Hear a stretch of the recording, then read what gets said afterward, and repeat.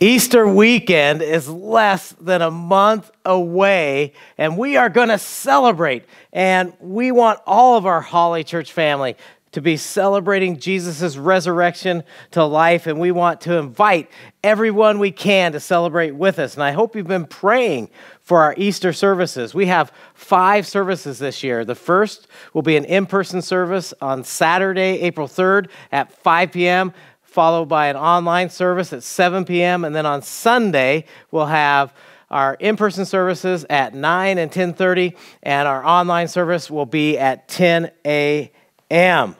Pray for those services, if you would. And I also hope you've been praying for those you want to invite to one of those services. And this is from a recent connection card. They wrote, I pray for everybody to follow Jesus Christ and to love him with all their hearts. And then they confessed, I have not been praying, but I will. And I hope if you haven't been praying for those you want to invite to an Easter service, you'll start today. And if you have been praying, thank you. Continue to do so. Easter weekend is a perfect time to invite your family and friends to one of our online or in person worship services. Let's pray together right now. Heavenly Father, we ask for your spirit to be at work, drawing people to you, and give us the opportunities and the courage to invite people to get to know you. Bless our Easter services and guide our hearts and minds toward you as we worship and learn together today. In Jesus' name, amen. This month, we're journeying through Joshua, our book of the month for March in our By the Book series. And before we get to the first message in this series, though, I'd like to officially welcome you to Holley Church Online. Give me a wave and say hi to me and to each other in the chat or in the comments. And this is an awesome day. I'm so glad you're here. And make sure to like our services and share them on Facebook and YouTube, and to like and follow Holley Church on Facebook and to like and subscribe to Holley Church on YouTube if you haven't done so already. And if you shoot over to Holley Church Online, you'll find message notes for today's message. You can also fill out your connection card there as well. One of the main reasons I ask you to complete a connection card each week is because there are next steps each week you can take for your personal spiritual health and your personal spiritual growth. And if you are on Facebook or YouTube, you can also follow the instructions on the screen to fill out your connection card. If this is your first time with us at Holley Church, I'm so glad you're here today.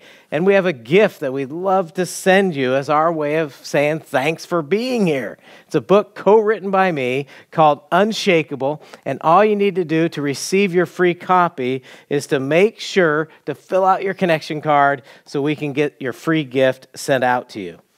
In preparation as a church family, online and in person, we're fasting from something we enjoy. And when we miss that, we're praying. What are we praying for? We're praying for our Easter services.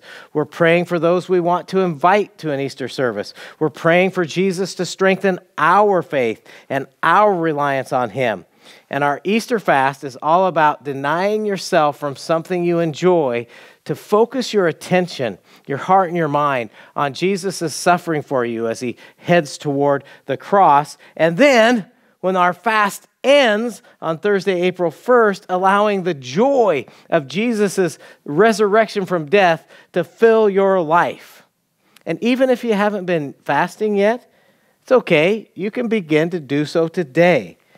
The worship team is going to lead us in praising Jesus, and then I'll be back with today's message. Don't forget to fill out your connection card, even if you're watching this later in the week. Thanks.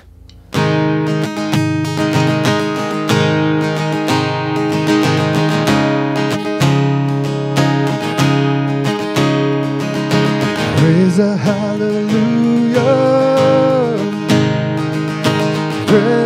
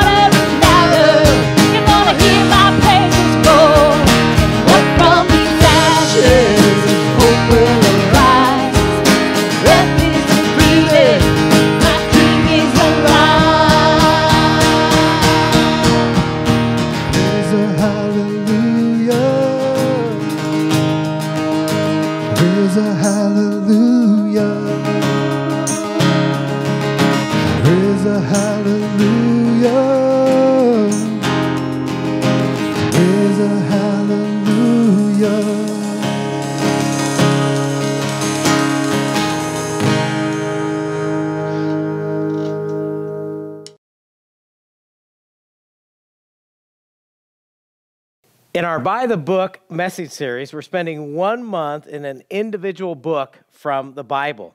The word Bible actually means books because the Bible is not a book, it's a compilation of 66 different books or letters compiled together. And according to the Apostle Paul, your life, if you're a Christian, your life is another book or another letter in addition to this Bible.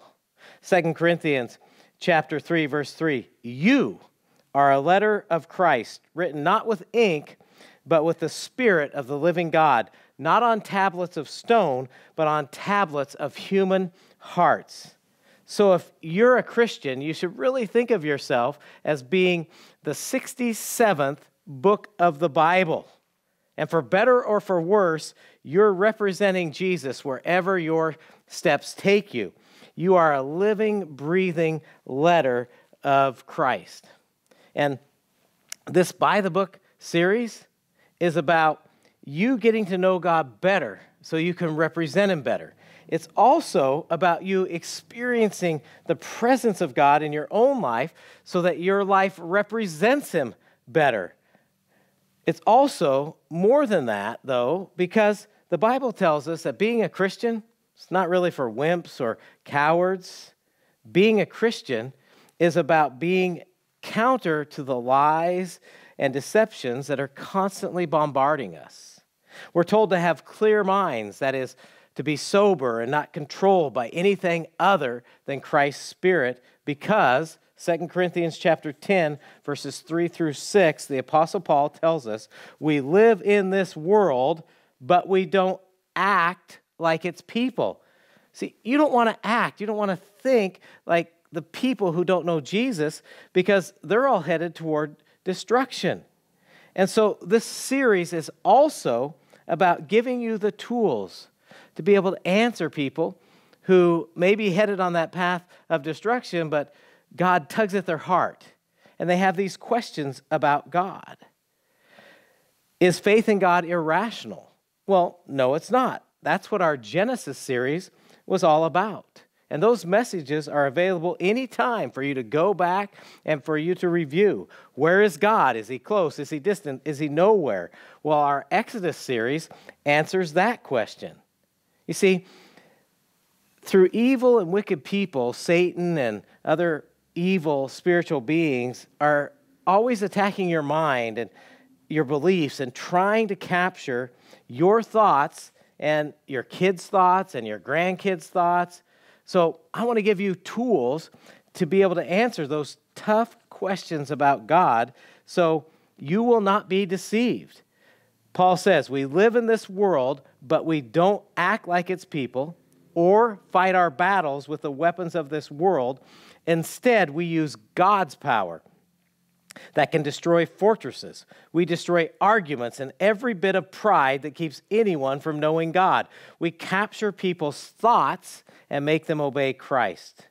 We're warriors for Jesus. We're fighting this spiritual battle that takes place in the physical realm. And we don't fight it with weapons of this world. How we fight it is with alert minds and prayerful hearts.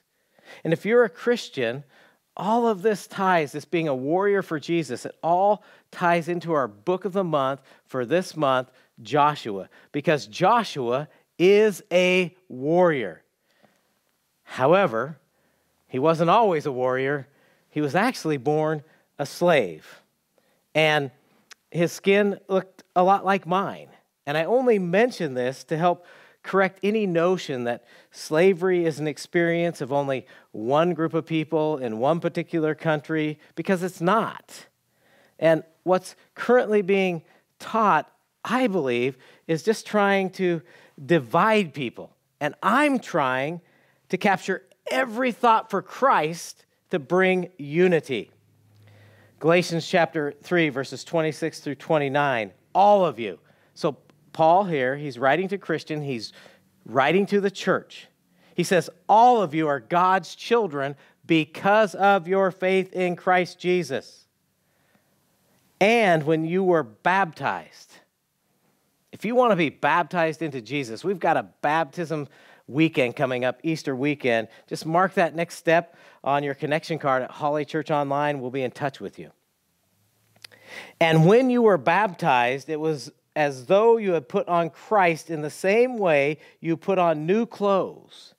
Faith in Christ Jesus is what makes each of you equal with each other. What makes you equal? Skin color, money, abilities, power, position, getting government handouts, so many parts in a movie. All of that is absolute frivolous garbage. It's lies because it is faith in Christ Jesus that makes each of you equal. And without Jesus, you'll be equally destroyed no matter how much money you have, no matter what your position is or what your skin color is.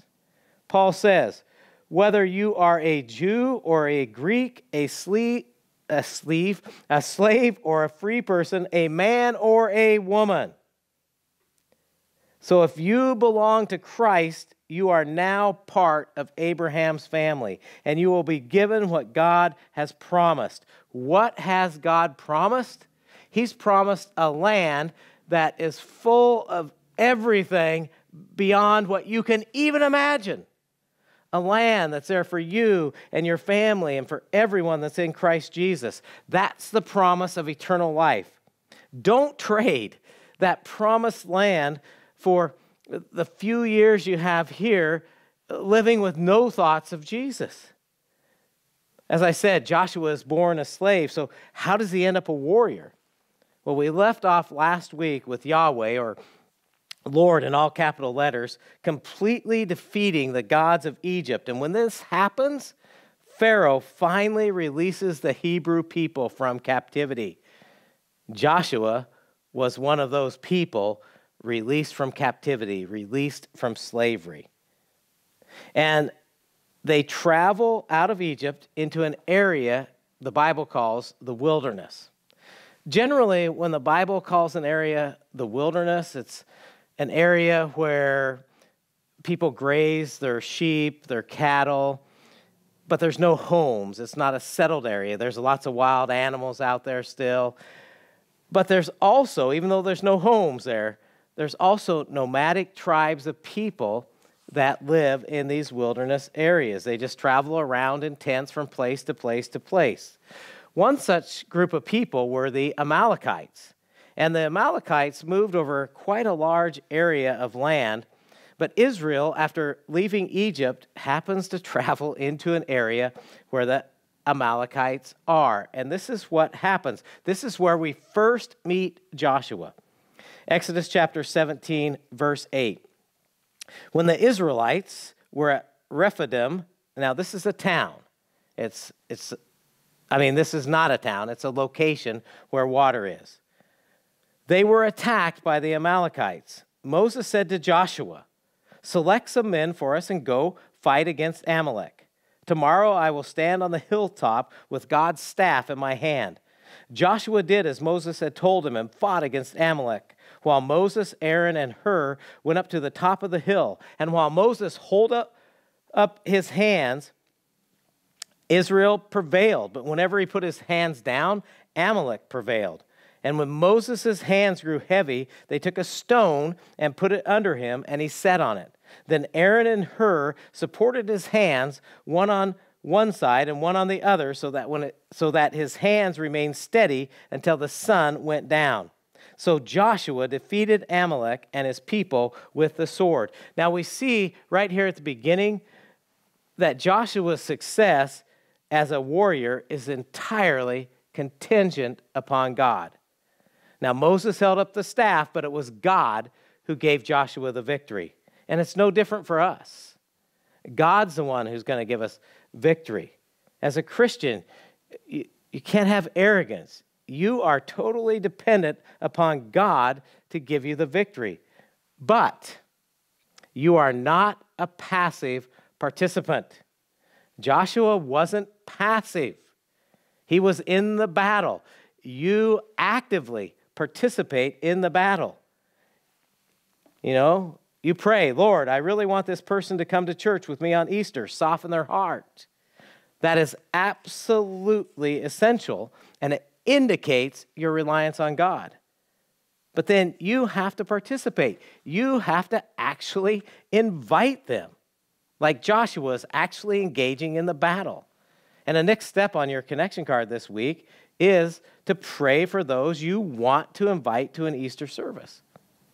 Now, after this battle with the Amalekites, Joshua becomes Moses' right hand man, assistant, future leader of Israel. In training, and eventually, Joshua assumes leadership of the people of Israel upon Moses' death. And that assumption of the mantle of leadership by Joshua leads us directly into our book of the month, the book of Joshua. Another next step I would encourage you to take, if you haven't already marked this on your connection card, is to read Joshua. And again, your connection card is found at Holley Church Online. And as with each book of the month, this first message is about helping you as you read the book of Joshua to get the most out of it. So today I'm going to give you a good, easily understood overview of Joshua, who wrote it, why God inspired its writing. And I'm doing this to help you as you read it to better understand what God is saying to you and what He's saying about the world that you live in. Then, over the next couple of weeks, we'll look at a question, a tough question that many ask about God that we find in the book of Joshua. Joshua is actually one of my favorite books of the Bible, and Joshua is one of my favorite examples of faith from the Bible. And I hope you're just feeling my passion for what he teaches us as I'm teaching you today. Quick recap to set up the scene as you begin to read Joshua. God delivers the descendants of Israel from slavery in Egypt, and then he gives them his guidelines for having a relationship with him. We often call them the Ten Commandments, which tell us how we relate to God and how we relate to each other. They show us God desires to have a relationship with us and what that means when we do, how we live and interact with the Lord and with each other. The Israelites, they come to the edge of entering into the land promised to them, but then they sin big time. Their sin, they fail to trust the Lord to bring them safely into the land of Canaan the land that's been promised to be given to them. As punishment for their unbelief, all the Israelites that are 20 years old and over must die in the wilderness as they travel through it for 40 years. Joshua and another man by the name of Caleb, another favorite of mine from the Bible, are the only ones who will survive this 40 years of wandering in the wilderness. So at the end of this 40 years, Moses passes away, and now Joshua has been chosen to lead God's people into the land of Canaan. And this is a fulfillment of the promise God made to Abraham that Abraham's descendants would settle the land and it would become theirs. Most of the book of Joshua is written by Joshua himself. Now, obviously, others may have edited the book, and uh, someone did add portions to it because the end of the book is written after Joshua's death. And it was important for this book to be written because it shows us God's faithfulness to his people when we are faithful to him. So it shows us also the importance of our obedience to him. It also demonstrates the end result of those who reject him as their Savior and the consequences for us if we disobey the Lord ourselves. You can access message notes at Holley Church Online where you can follow along and fill in the blanks here. The main characters in the book of Joshua are God, Yahweh. Yahweh is the creator of all we can see and cannot see, and he chooses a people to represent him here on earth. And when the events in Joshua take place, God has already defeated the little g gods of Egypt, and now he, with the freed descendants of Israel, he has formed a new people. And as they enter the land of Canaan, Yahweh is declaring war on the gods of the Canaanites. This is a spiritual war that takes place in the physical world. And the ultimate commander is the Lord Himself. While others serve lesser things and lesser gods, those who follow Yahweh, Jesus, serve Him and Him alone, the King of Kings and the Lord of Lords. Another main character in Joshua is Joshua himself. Joshua, whose birth name was Ho- Hoshea, serves as Moses' assistant from his youth. Numbers 13, 16. Moses changed the name of Hoshea, son of Nun, to Joshua.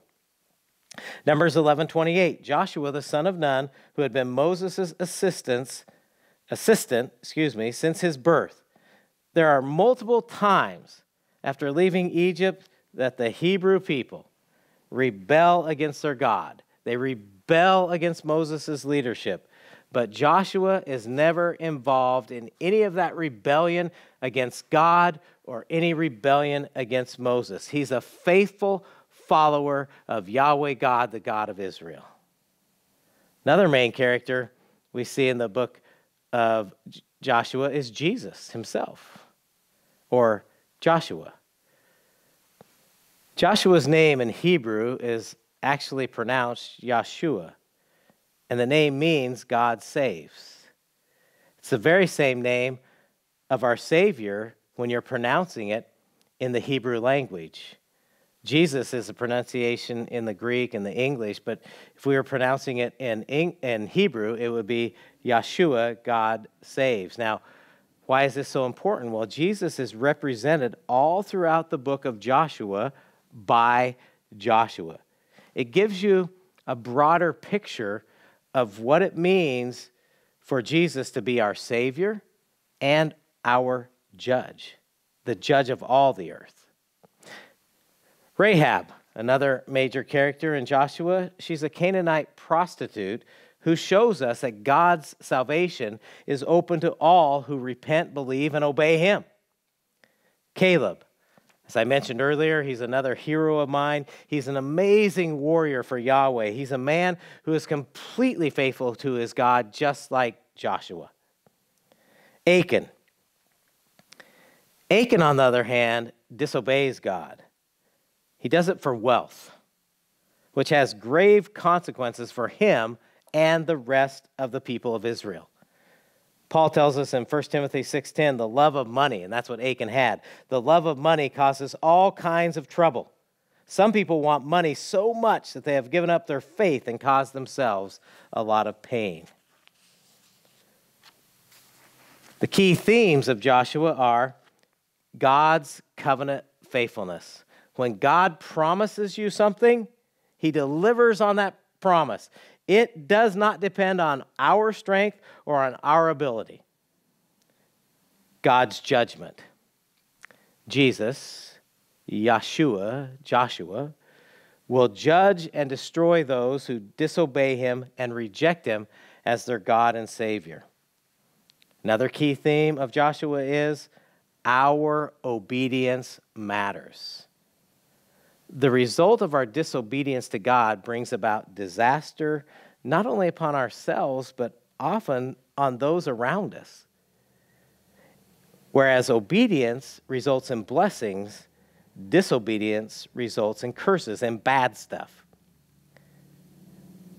Biblical faith, key theme in Joshua. Biblical faith is acting on what you believe.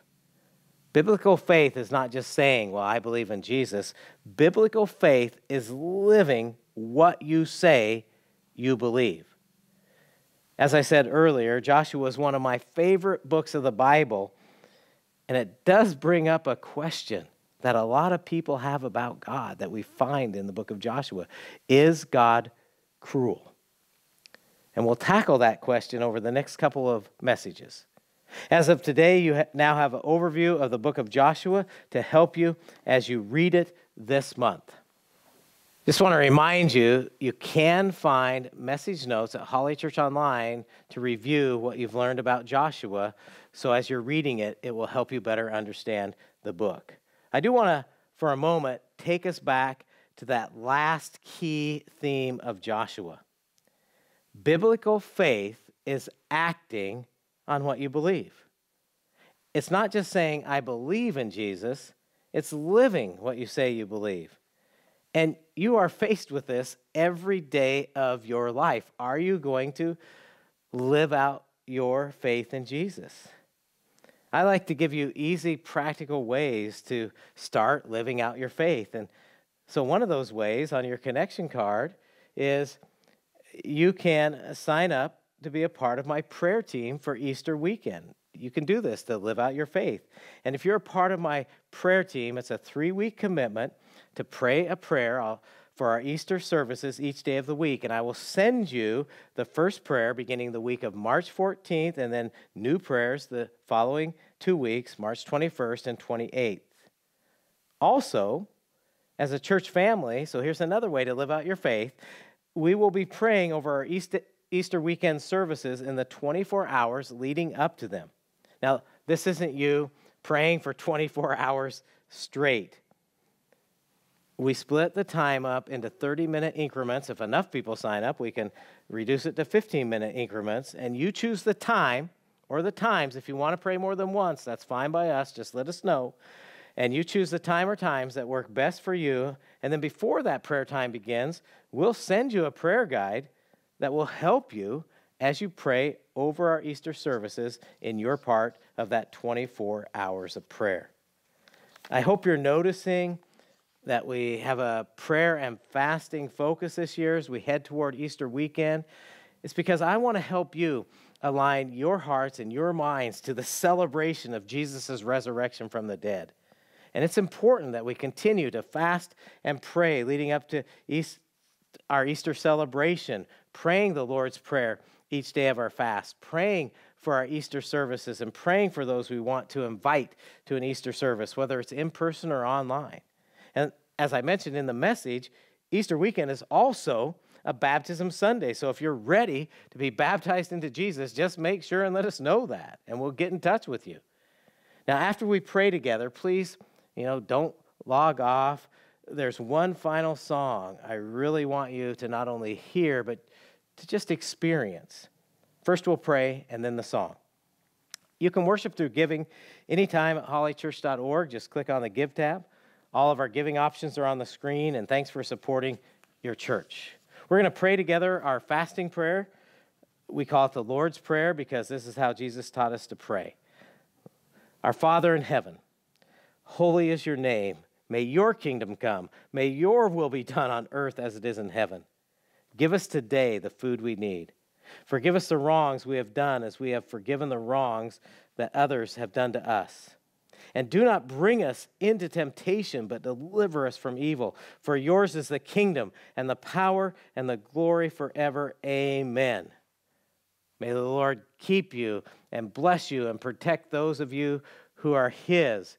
Enjoy the worship here, experience it. Let it just permeate your soul, your heart, and your mind, and let it strengthen you.